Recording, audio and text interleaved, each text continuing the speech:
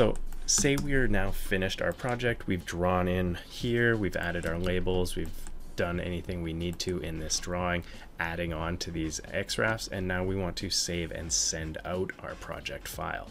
Now, one issue you will run into with XREFs is when you send out just this file, say our drawing one, you're not automatically going to be sending the XREFs that are in here.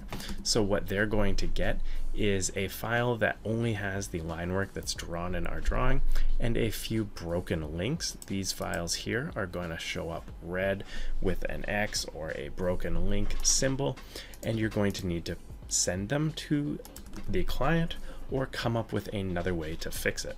Now, one thing you can do, and I don't recommend doing this until you're ready to package up and send your file, is to make a copy of your file and in it bind or insert the XREF. So, so to bind or insert an XREF, you can go to the external references menu here. You can also typically select an XREF and right click it to get this same option.